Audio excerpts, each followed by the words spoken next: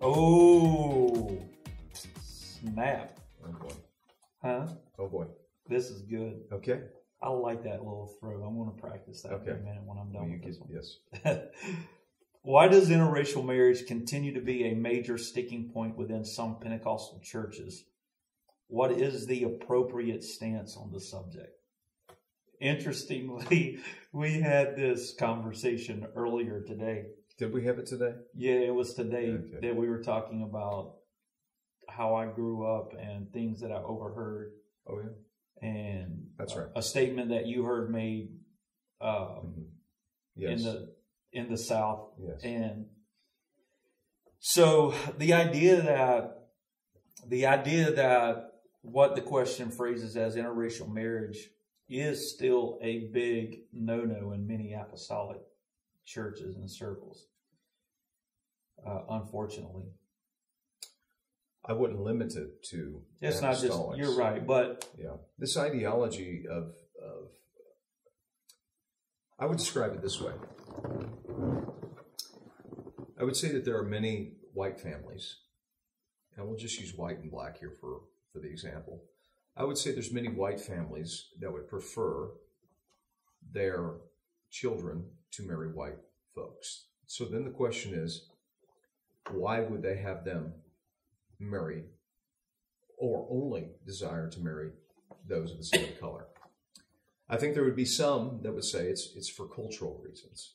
yeah, It's it's because the kids, you know, they don't want the kids to be uh, mistreated. Cultural reasons. You don't know that culture that well, etc. Then the question is: Is this racism, or is this biasness? yeah, And I, I think both are applicable. I think both are are um, probably factual.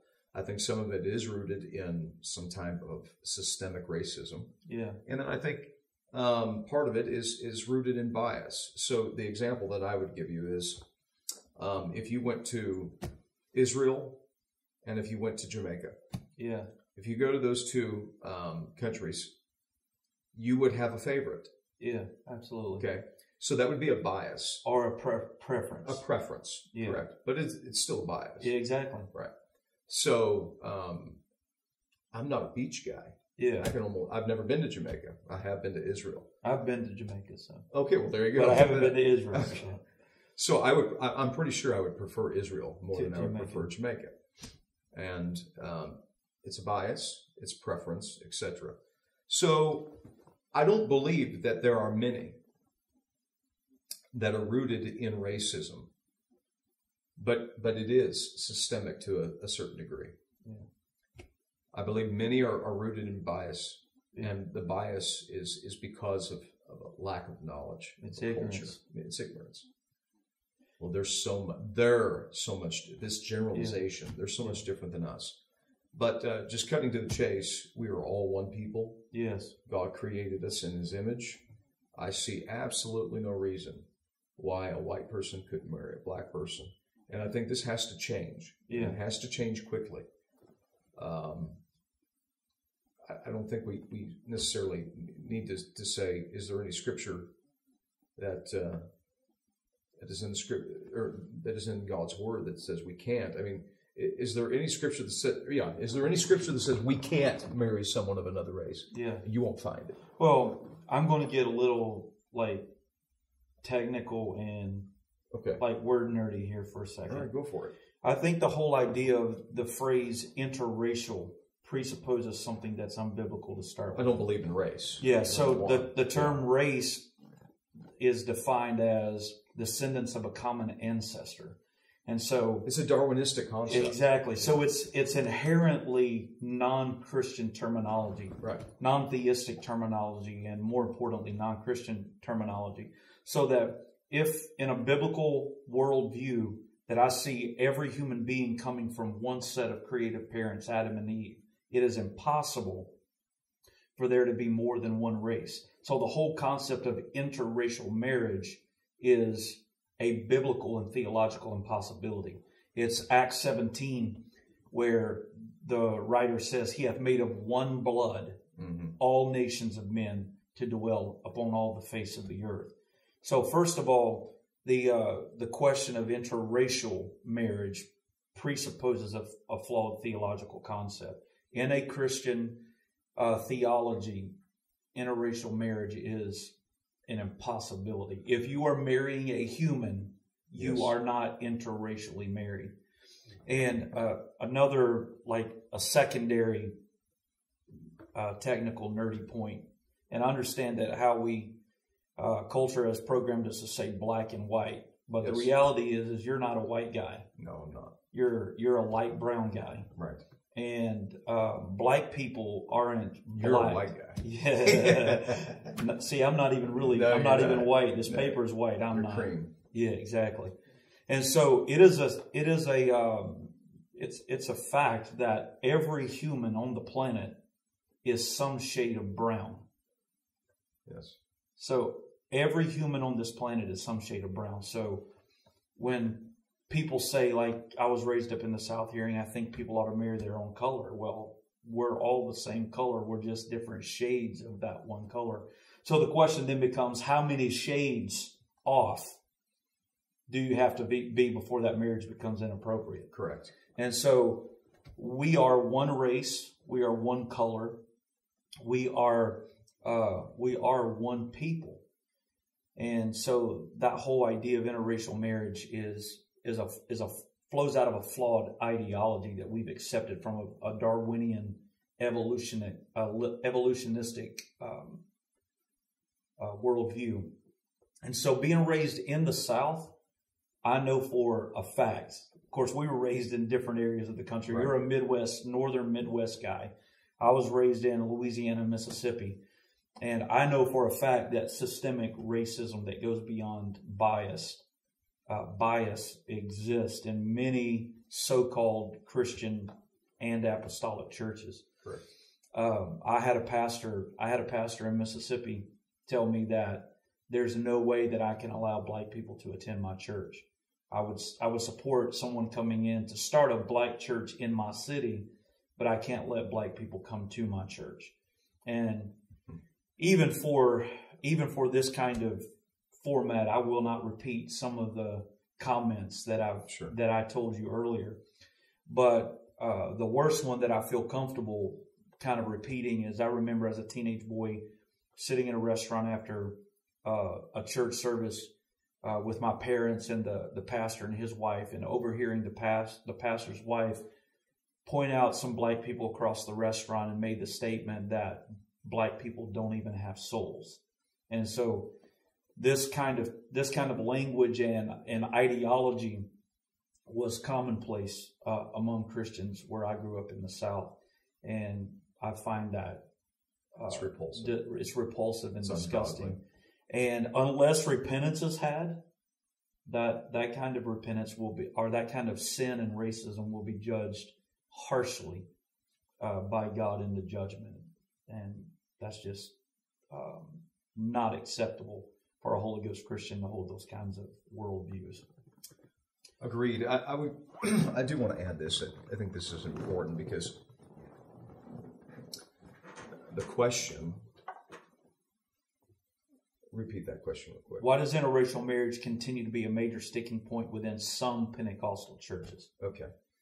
So really, I, I think the answer to the question is, is more than what we've we've talked about already. Yeah. We're talking about church government, church structure, and church Yeah. organization, and the idea of this interracial marriage, uh, marriages. Okay. The reason why I believe it's it's such a uh, a hot topic, even still today, is because churches, sadly, are very much segregated, even to this day. Yeah, So the the real issue is, is not so much marriage; it's it's the segregation, it's the ideology uh, of, of of blacks going to, to, to church at black churches yes, and white churches.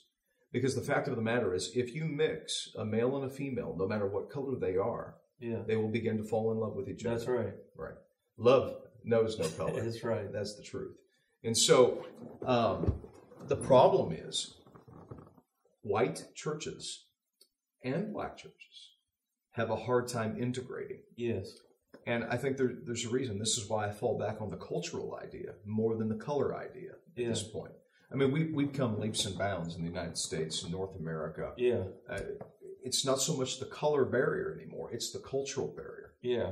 So the So idea, so we don't play music like they play music. there it is. and Right. like our, our our worship styles and our um, our uh, even our church government and structural uh, styles of of having church, our ecclesiology Yes. uh, is different, and and so again, it goes to what you were saying earlier that there are preferences that Correct. that certain groups have for particular styles of, of worship and music and church and and the way they do things and so and it's and it's not like you say it's not just a color issue it's a cultural issue because even for me as a southern uh, white male um, there are northern type ways of having church in white northern churches that I just don't resonate with it. It drives me crazy because it's not the cultural way of uh, of expressing worship that I was used to uh, being raised in the South. So it's it's not a culture. It's not a color issue. It's a cultural issue. Yes, it, it really is. When churches become integrated, that question falls away about marriage. It, it just it's going to happen. Yeah, But churches must become integrated, and if they are going to become integrated, there must be a desire to learn and to understand cultures that don't look like your culture, that don't act like your culture. It does not mean, and, and I think this is an important part, it does not mean that you will love that type of music that's associated with that Yeah. culture or even like it to a certain Yeah. degree yeah. But you have to accept it. You have Learn to, to learn- appreciate it. appreciate it. So that because Africans or North Americans or Asians or Hispanics are created in the image of God, there's something about their cultural expressions that that reveals something about the nature of God, the something about the attributes of God. And so when we only limit our worship experiences to one particular cultural Right. expression, then there, then we're missing components of divine creativity Yes. that God intends for the body of Christ to have. And so when we bring those uh, diverse cultures within one congregational setting, it reveals more of, of the, uh, the nature of God than what you have whenever you just have one particular cultural dynamic. Yes. Agreed. And we can again We- talk. we- We, we can can talk about going. this forever. Yes. All right. So That one's going. I'm horrible You're at really that.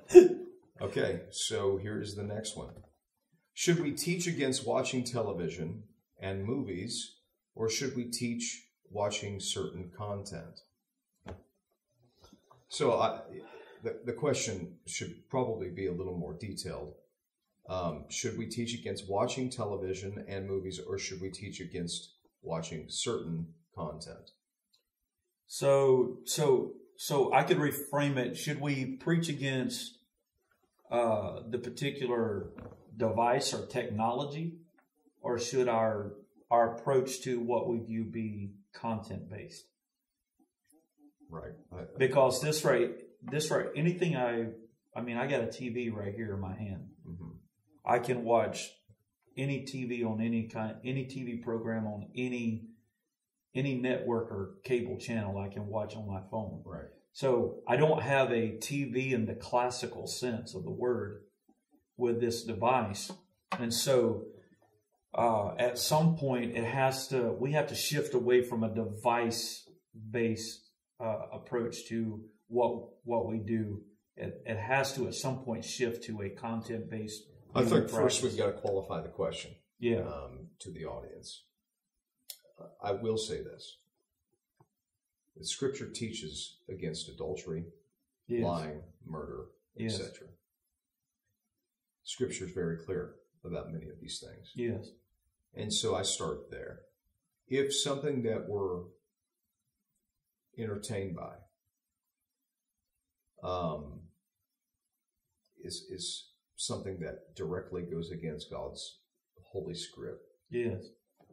then then we should be very careful Yes. as Christians, as followers of Christ. Um, and so I think this question derives from that concept Yes. that there are things on television and in movies Yes. that would go against the teachings of, of, of God's word. Absolutely. And so I think one thing as a Christian, as an apostolic, uh, we can be very hypocritical in Yeah. what we preach and teach and the way we convey the gospel Yeah. if we are taking pleasure and entertained Yes. by someone else doing the sinning for us. Yes. Exactly. So, I think that qualifies Romans, the question. Yeah, yeah. Romans says not only they that do them, Yes. but them that have pleasure, in them that do them. Yes. And so when you are taking pleasure, and and I think this is an important distinction to be made too. So so when I'm viewing something, or maybe even even an audio book, uh, which is a form of entertainment for many people, that not necessarily that there is uh, adultery in that film or that book, but how does it portray it? Does it glorify? It- Does it glorify it or does it condemn it? right. So in scripture, I'm reading about adultery with David and Bathsheba. Yes. But the way that scripture portrays that adultery is that it isn't glorifying it as something that's that's cool that that a person should have the freedom freedom to do. And so so if a particular sin is in a film or a book, hmm does does it glorify it or does it condemn it? What is what is the way in which that particular sin is being portrayed in that that film or that book? Yes. I, I think that's the point. I mean, uh, adultery is real. Scripture talks about it. Yeah. David and Bathsheba is there. Uh, lying is real. Well, we can't ignore these things. Uh, Yeah. Cheating.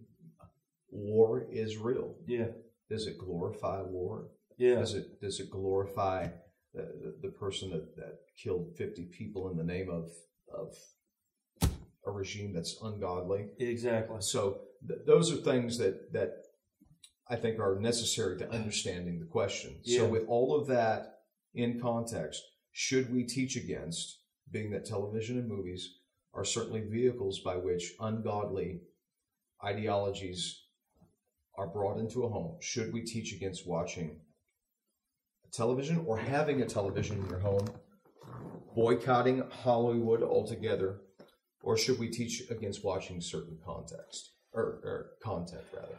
I, I think for me the only the only appropriate way to respond to that and to deal with it uh, in the world we live in is a content based approach to uh, what people view and allowing the Holy Spirit to do something more than make you talk in tongues, and that's convict you of convict you of sin when you sin, and allowing the Spirit to actually be that that convictor in in the Christian's life. And just recently, I don't even remember what it was. It was on my iPad, but I was viewing a, a particular uh, content, and um, when a, particular uh, uh, particular scene came up, and I forget what it was on, um, even what it was, but as soon as it came up, it was something that was presented in a way that contradicted the Word of God, and I immediately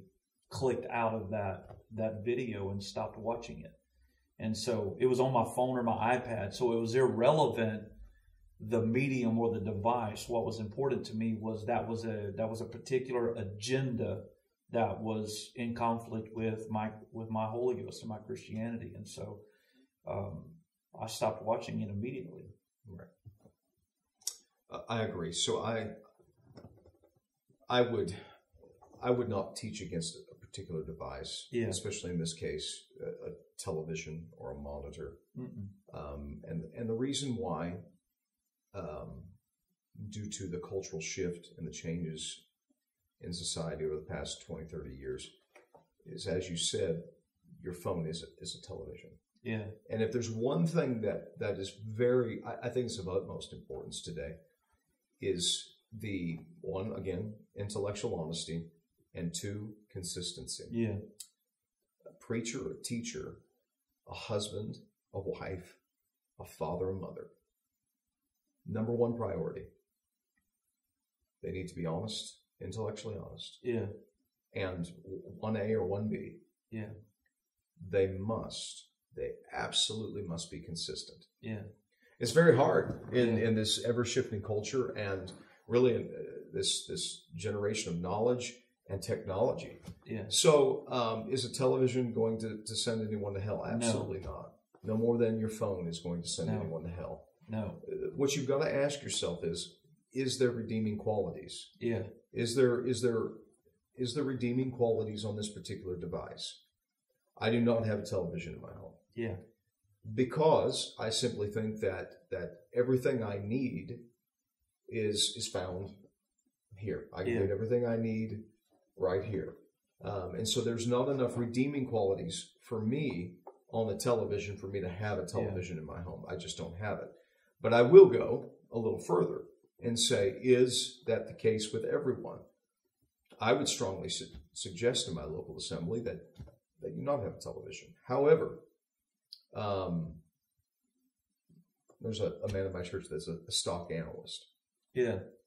So he writes um, for uh, magazines and, and certain reports from a company that gives stock advice. Well, there's a finance channel, Yeah. uh, you know, on, on television that is real time.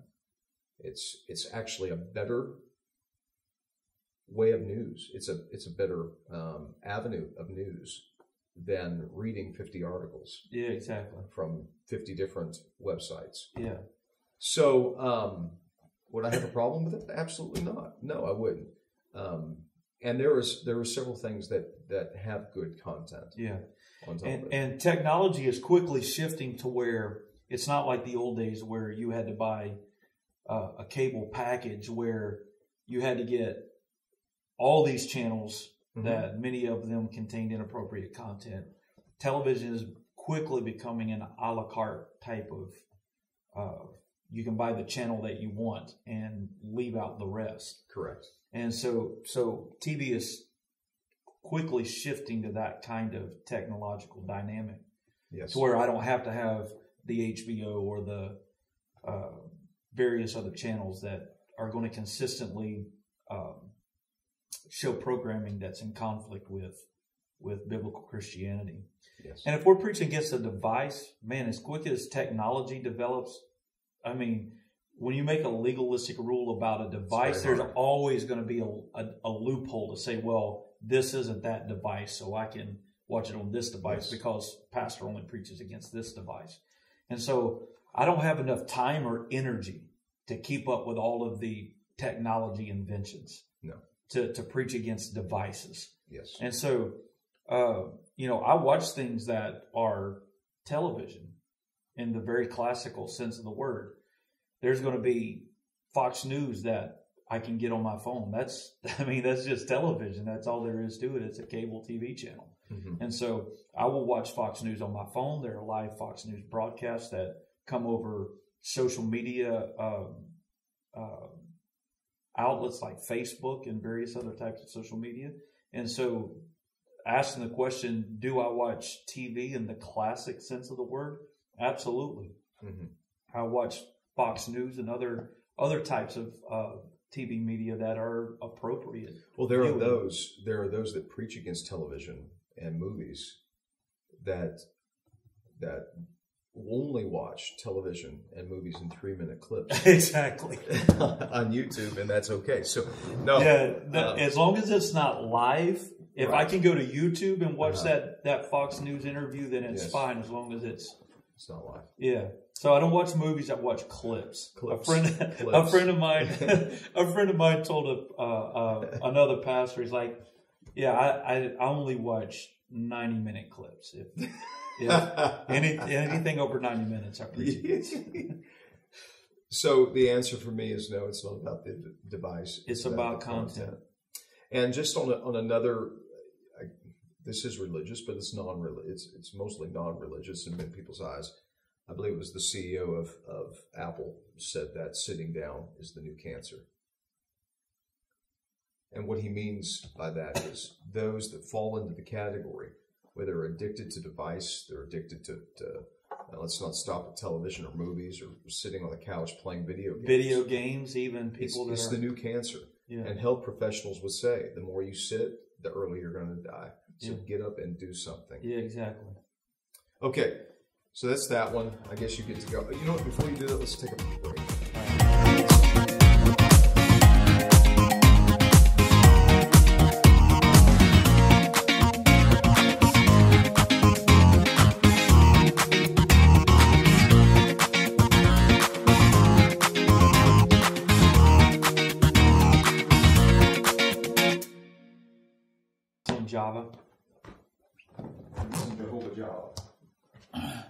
Holy grounds.